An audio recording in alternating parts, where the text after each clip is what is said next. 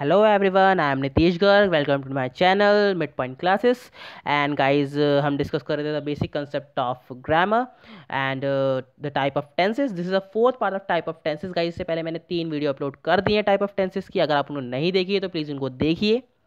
और आपके लिए कुछ भी यूज़फुल हो तो प्लीज़ लाइक कीजिए सब्सक्राइब कीजिए एंड शेयर कीजिए।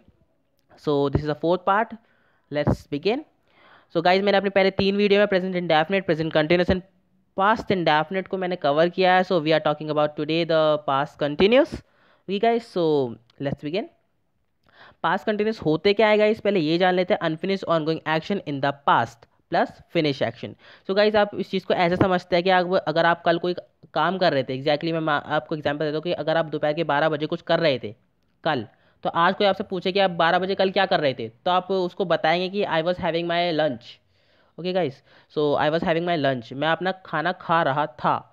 ठीक है? तो वो पास्ट का ऑनगोइंग एक्शन था। अगर आपसे कोई पास्ट के बारे में पूछे कि आप इस टाइम क्या कर रहे थे या आप इस दिन क्या कर रहे थे, ठीक है? भले ही आपको वो स्पेसिफिक टाइम आपको वो ना दे, क्योंकि स्पेसिफिक टाइम बन के तो वो कुछ और ही बन जाता है गाइस सो भले ही वो स्पेसिफिक टाइम ना दे बट वो चीज़ बता दे कि हाँ आप इसके मतलब इसके इस टाइम के अराउंड आप क्या कर रहे थे। ठीक है? तो on going action in the past जो भी आपका, जो भी आप कर रहे थे, जो भी आपका काम चल रहा था, चाहे आप कुछ भी कर रहे हो ठीक है? तो वो आपका पास कंटिन्यूस टेंस को डिफाइन करेगा। प्लस फिनिश एक्शन और गाइस फिनिश एक्शन का मीनिंग क्या है? मान लीजिए अगर आप रात को खाना खा रहे हैं और सडनली आपको एक कॉल आ जाता है, ठीक है? तो आप उस खाना खाने को, खाना खा रहे होंगे, उसको छोड़कर आप कॉल रिसीव करोगे। तो जो ऑन गोइंग एक्शन था, आपने उसको छोड़ दिया। फिनिश पहले क्या किया आपने? कॉल रिसीव किया, बात की, रख दिया। तब आपने दोबारा के खाना खाया। ओके गाइस तो फिनिश एक्शन क्या हुआ? आपका सेकंड वाला एक्शन हुआ। फ़र्स्ट वाला क्या हुआ? आपका ऑन गोइंग एक्शन हुआ। ठीक है गाइस जस्ट लाइक कि अगर आप एक कंपनी में वर्क करते हैं, इसका बेस्ट एग्ज़ाम्पल यही सकता है कि अगर आप एक कंपनी में वर्क करते हैं सडनली आपके, आप डिनर कर रहे थे सडनली आपके बॉस से कॉल आता है, ठीक है? और नेक्स्ट डे आपसे कोई आपका फ्रेंड पूछता है कि आप क्या कर रहे थे उस टाइम जब आप बॉस का कॉल आया? तो I was having my dinner when I got the call of boss ठीक है? तो इस तरह से आप उस चीज़ को बता सकते हैं कि मैंने मतलब मैं उस टाइम डिनर कर रहा था जब मुझे मेरे बॉस का कॉल आया। ठीक है? तो वहाँ पर जो फ़र्स्ट वाला सेंटेंस है, वो ऑनगोइंग एक्शन है। सेकेंड वाला सेंटेंस है, वो कौन सा है? आपका finished action we guys so इसको बनाएँगे कैसे फॉर्म जो है हमारी सब्जेक्ट वॉज़ वर वर्ब के first form was I N G and object okay guys तो कैसे मेक करेंगे? I was bathing the Ganga yesterday मैं गंगा में कल नहा रहा था।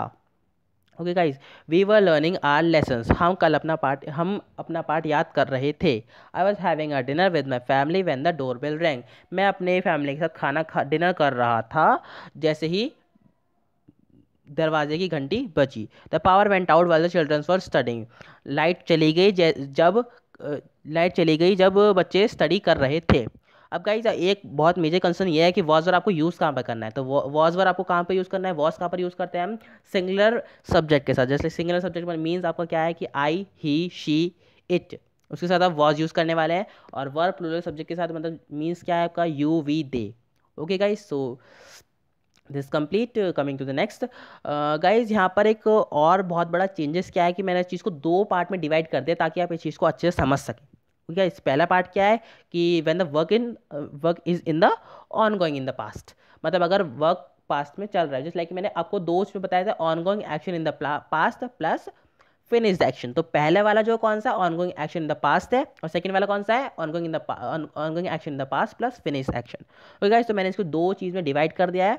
अब देखते हैं इसको करना कैसे है। आप इसको करेंगे कैसे? अगर अगर फ़र्स्ट टाइम आपका फॉर्मूला आता है फ़र्स्ट टाइम मीन्स अगर आपको, आप बोले कि जस्ट लाइक कि मैं कल किताब पढ़ रहा था।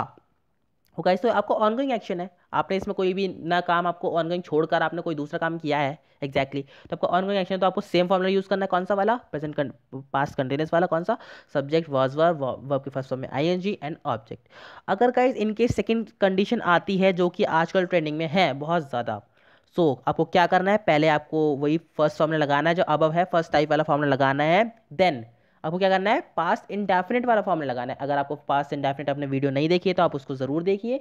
और अगर आपको फॉर्मूला याद नहीं है गाइज़ तो मैं बता देता हूँ कौन सा फॉर्मूला लग रहा था हमारा उसमें। सब्जेक्ट प्लस वर्ब की सेकेंड फॉर्म प्लस ऑब्जेक्ट वही गाइज़ अब आप इस मैं इस चीज़ को कुछ सेंटेंस के थ्रू समझाना चाहता हूँ। सो देखिएगा इस फ़र्स्ट सेंटेंस हमारा she was washing her clothes ठीक है तो गाइज़ ये हमारा फ़र्स्ट टाइप है।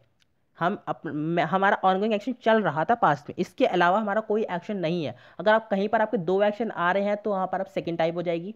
एक एक्शन है तो आपकी ऑब्वियसली फ़र्स्ट टाइप है। Guys it was raining yesterday कल बारिश पड़ रही थी।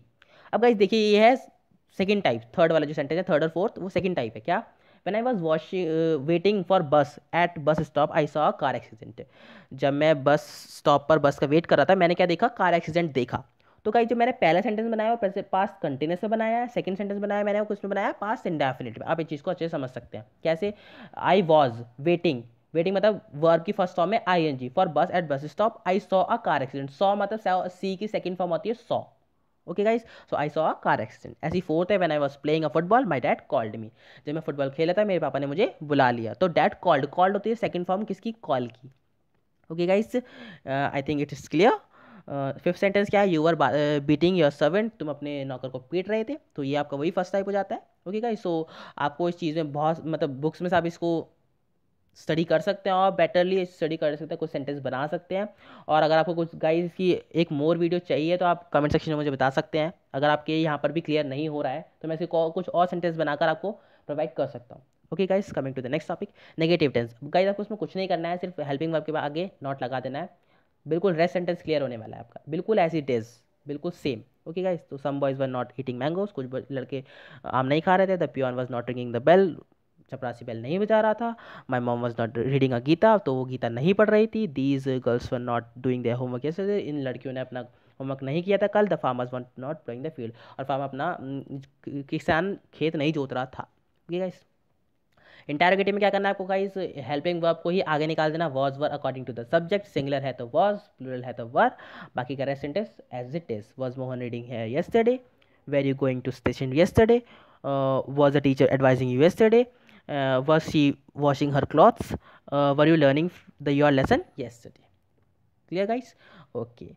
So guys मैंने जैसे कि कल आपकी, कल की वीडियो में बोला था पास इंडेफिनेट की वीडियो में बोला था कि मैं आपको बताने वाला हूँ कि मैंने प्रेजेंट परफेक्ट क्यों पहले नहीं किया पास इंडेफिनेट या पास कंटिन्यूस पहले क्यों उठा लिए? सो so गाइज़ इसका ये रीज़न था कि मैं अपनी, मुझे फ़र्स्ट फोर वीडियो का रिव्यू करना है, जिससे कि आप इस चीज़ को समझ सके। और गाइज़ इसका लिंक भी बहुत अच्छा वाला है तो यहाँ पर मैंने इस चीज़ को उठाया। ओके गाइस तो यहाँ पर रिव्यू करते हैं अपनी फ़र्स्ट फोर वीडियोस का। कैसे?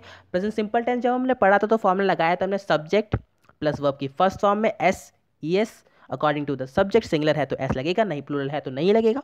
प्लस ऑब्जेक्ट तो I drink coffee every morning तो आई को जो गाइज़ हम डिफाइन करते हैं एज अ प्लूरल फॉर्म करते हैं मेनली तो यहाँ पर इसलिए हमने ड्रिंक मतलब पीना, यहाँ पर ड्रिंक में एस लगने वाला था, अगर हम यहाँ पर ही होता तो. पर यहाँ पर आई है आई को हम प्लूरल फॉर्म में एग्जैक्टली हम कर रहे हैं तो हमने यहाँ पर एस नहीं लगाया. तो I drink coffee every morning अगर हम प्रेजेंट कंटिन्यूस की बात करें, जो कि हमारे सेकेंड वीडियो में थी आई एम ड्रिंकिंग कॉफ़ी मैं कॉफ़ी पी रहा हूँ। ये जो फ़र्स्ट वाला था मैंने जिसलिए कि अपनी फ़र्स्ट वीडियो में बताया था प्रेजेंट सिंपल टेंस वाला जो हैबिटुअल रूटीन फैक्ट्स होते हैं इसमें। सेकेंड वीडियो में क्या होता है, आपका ऑन गोइंग एक्शन जो आप प्रेजेंट में कर रहे हो।